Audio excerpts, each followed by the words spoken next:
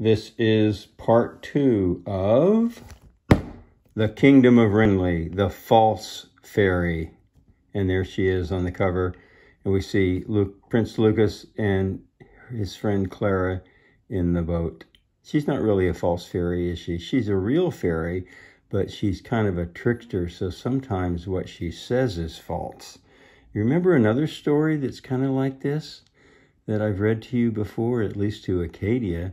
It has to do with a little boy who keeps, who takes care of the sheep, and he kept calling and crying, Wolf, Wolf. He'd run into town and he says, The wolf is coming, the wolf is eating the sheep. And the townspeople would go up there and there was no wolf, and the boy would just laugh. And then he did it again. And then what happened the third time? That's right, there really was a wolf, and nobody believed him. This is sort of like the story of the false fairy. But we've gotten over that now because, as we know from reading part one, what has happened is that Prince Lucas and Clara now believe Falk, who is the false fairy, and they're all in the boat and they're following the dark cloud. They have their friend Grom the wizard with them, and they're following the dark cloud that has bewitched the other fairies with this uh, strange music. And let's see if we can uh, let's see if we can find the right chapter. Chapter six. ah, here we go. Chapter six. Shapes in the clouds. We have no time to lose, Lucas cried, running up the gangplank with the others close behind him. They cast off and headed east in a blustery wind. The ship creaked and heeled to one side. That means it rocked over to one side. It's a it's rough waters. There's bad weather. White caps foamed on the crests of the dark green waves. The sun poked out between clouds, and its rays shimmered like spotlights on the water. Falsk stayed close to Clara, who leaned on the rail and studied the choppy waters for clues. Do you think I'll ever see my fairy friends again? Falsk asked sorrowfully. What if the last thing they remember about me is how I tricked Amber Quill into jumping into a mud puddle? Clara looked the false fairy in the eye. You must think good thoughts and be strong for your fairy family, she said. Falsk nodded as a tear rolled down her cheek. If we do find the fairies, I promise I'll never play another prank for the rest of my life. then Clara held a finger to her lips. Shh, she said. Do you hear something? Falsk listened. An eerie tune whistled in the wind. Woo! Remember what this is? See, it says woo. What do we call that? That's right. We call it an onomatopoeia.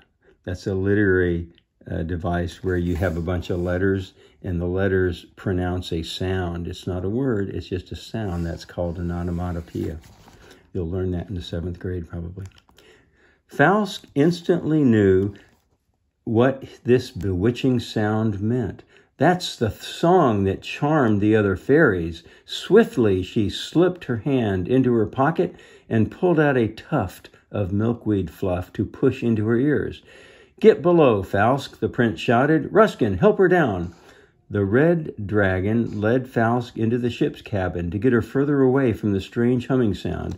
Then he returned to the deck. Everyone else remained on alert. Wow, the seas look pretty rough. They studied the sea and sky for more clues. Soon their imaginations began to play tricks on them. Each wave seemed to swell with monster faces, and the clouds took on beastly shapes.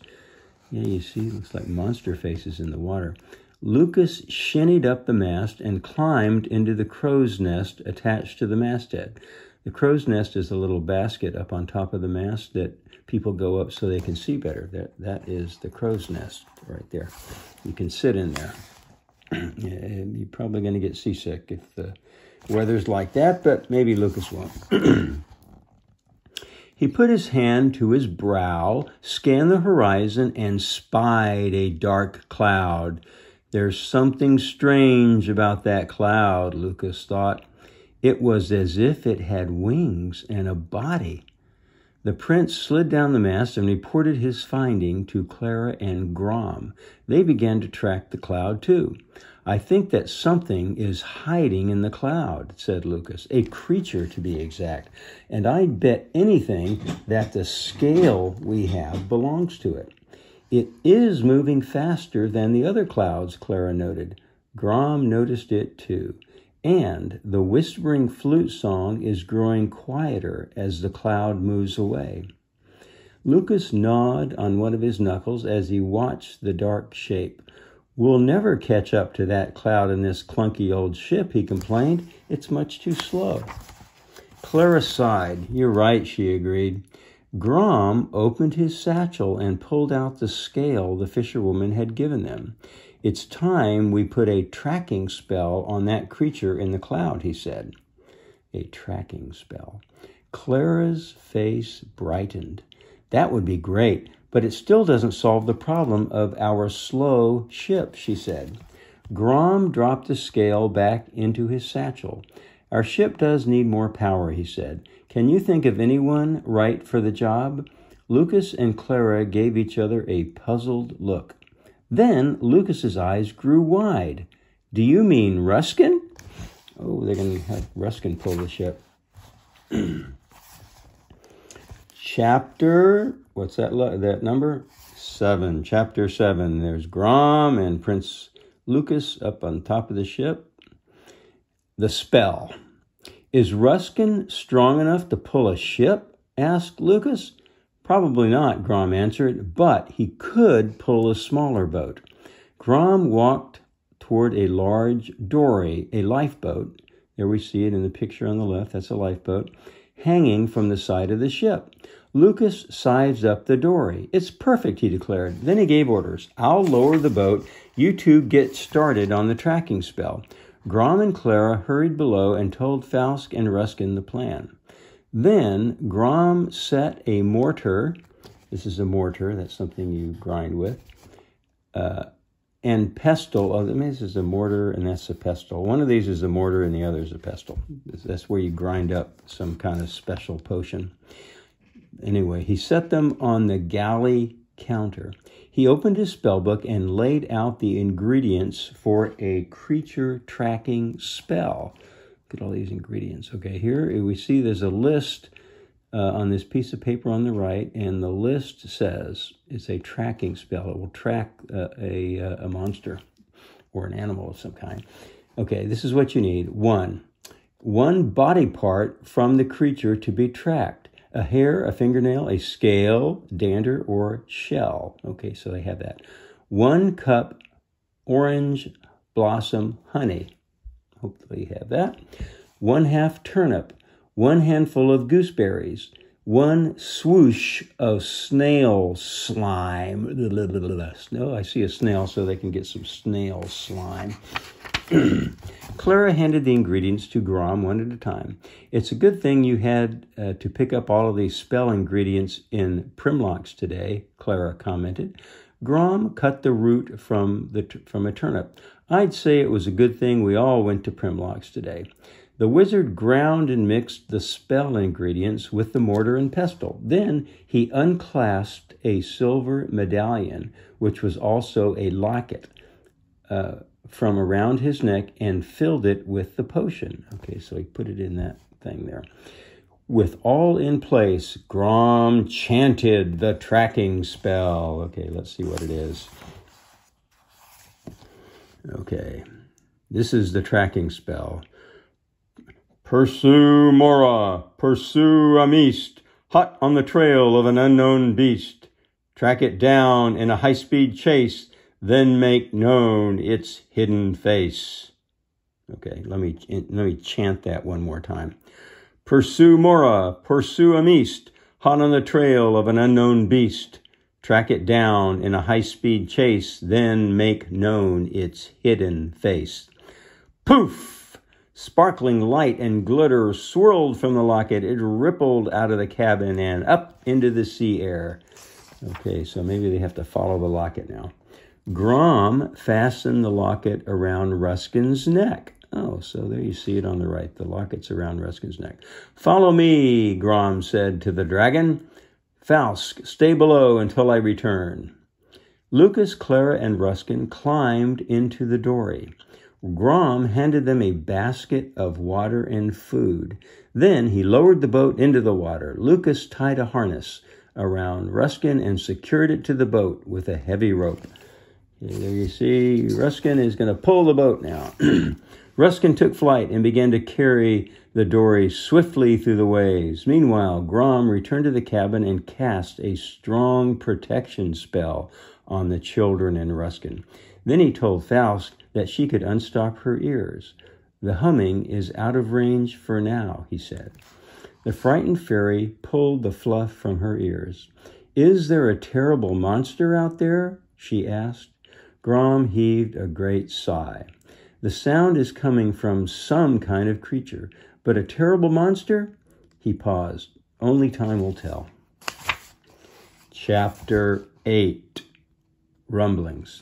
Stars dotted the sky like starry gems. The sea, I'm going to get this book in the middle here so you can read it.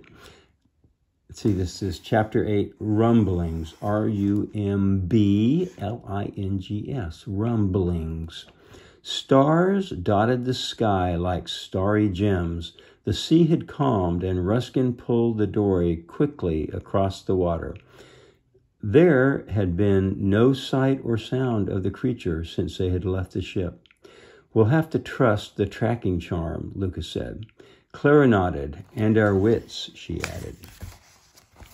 Lucas and Clara took turns watching and sleeping.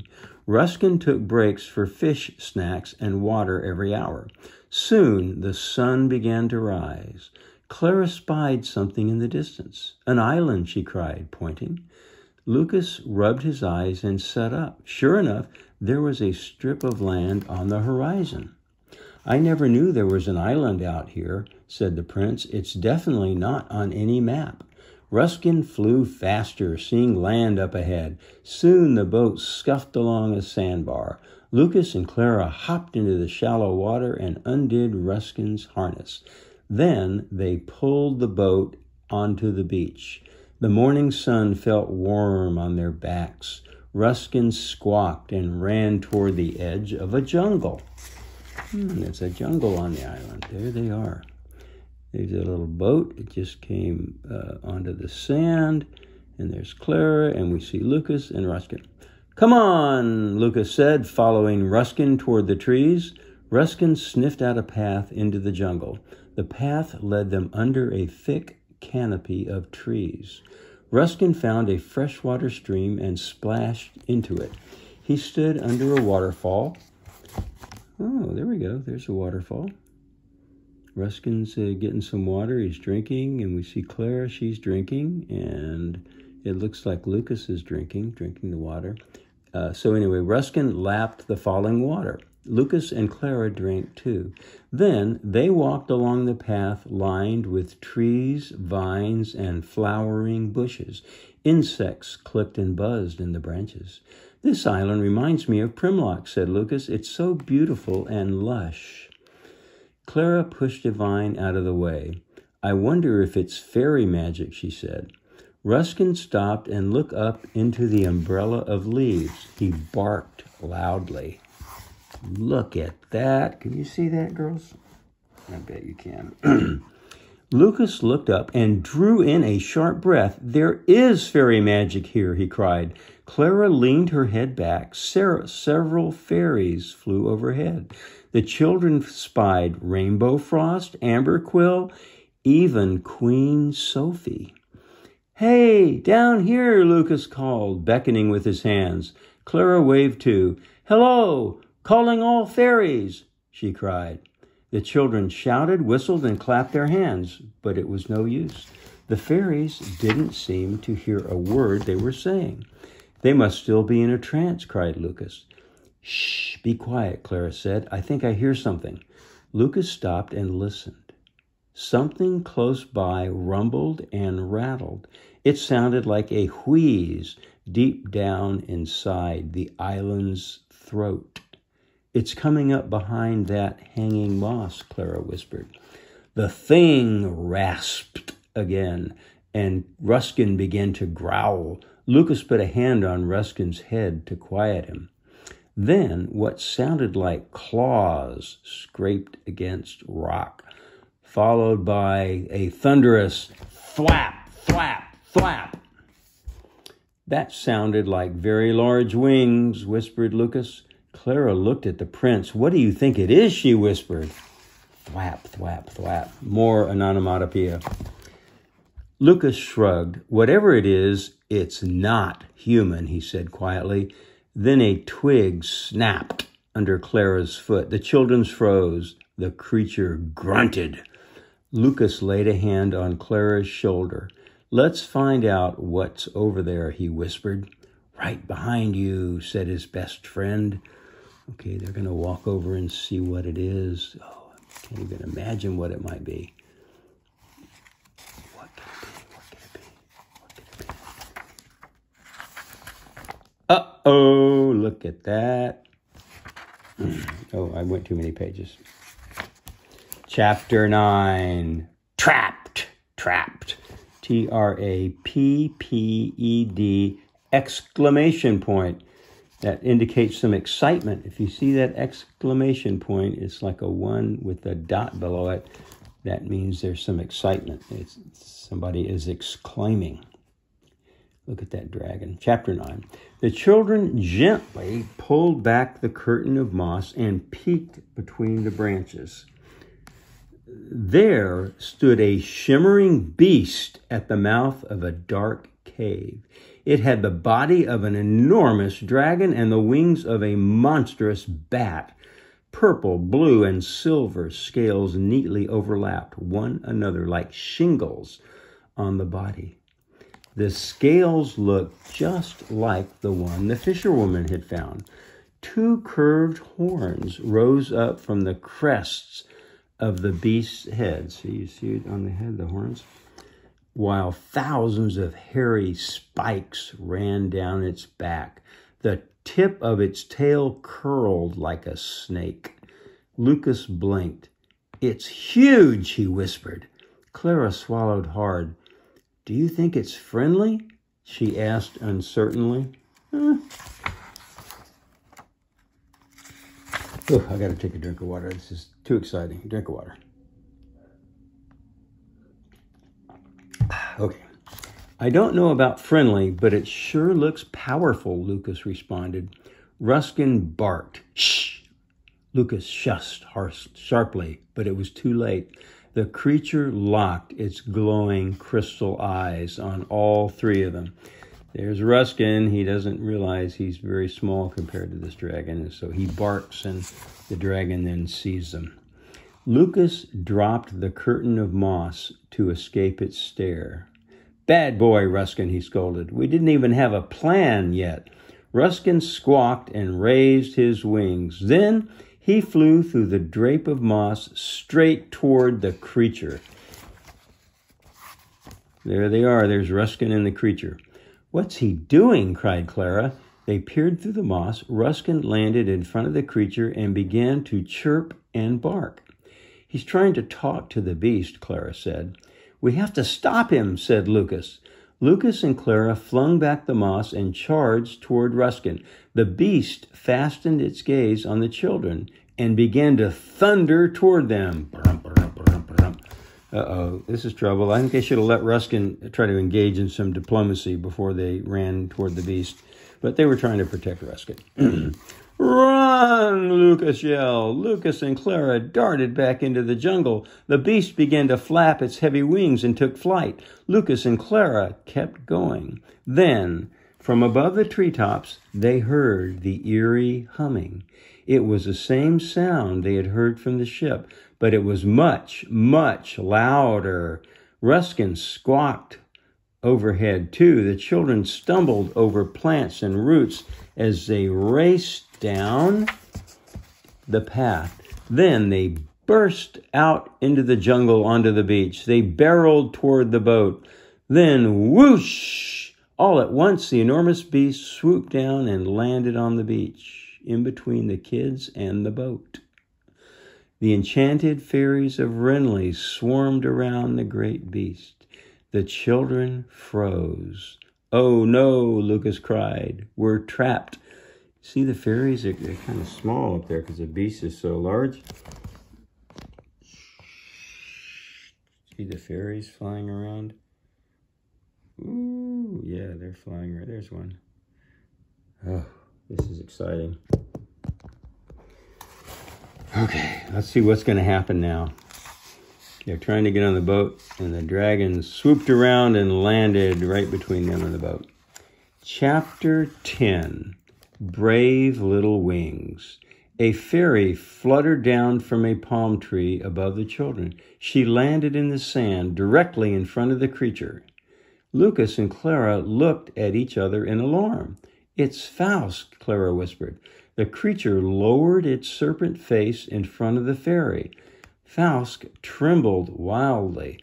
Oh, Faust is very afraid, but she's trying to protect her friends, so she swooped down right in front of the beast, and now she's so afraid.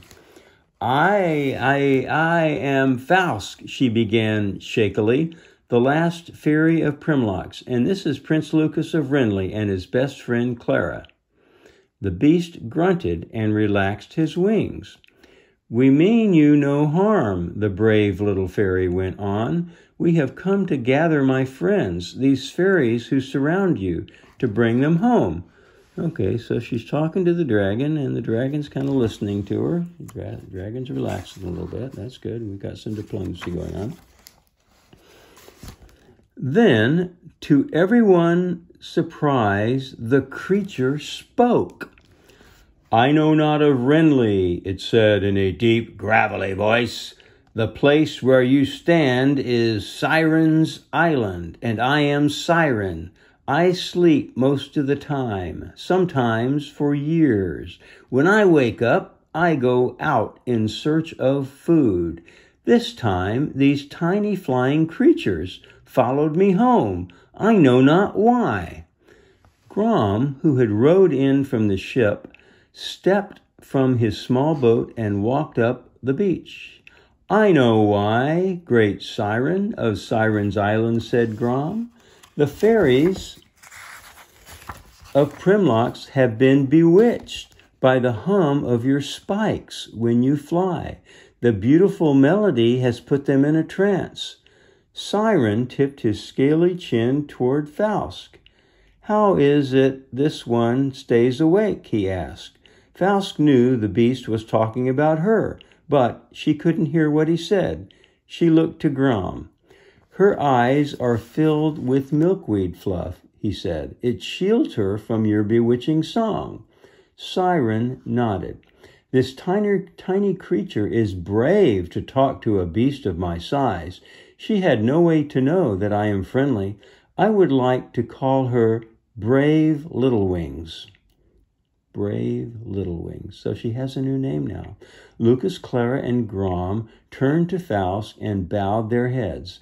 The wee little fairy had risked her life to save them.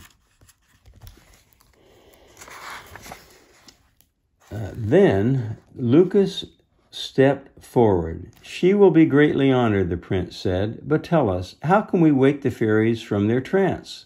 Siren shook his head. I know not how to awaken them, he said. But I know, said Grom. The fairies will wake up when they leave Siren's presence. Then there will be nothing to hypnotize them. I meant no harm, the ancient dragon apologized. I cannot control my wing song. You must get the fairies back to their home. So it was an accident. They weren't intentionally bewitched. It was just the noise that his little spikes made when he flew along. Clara looked out to sea, but we have no idea where we are. Siren lifted his mighty head. Then I shall lead you all back, he said.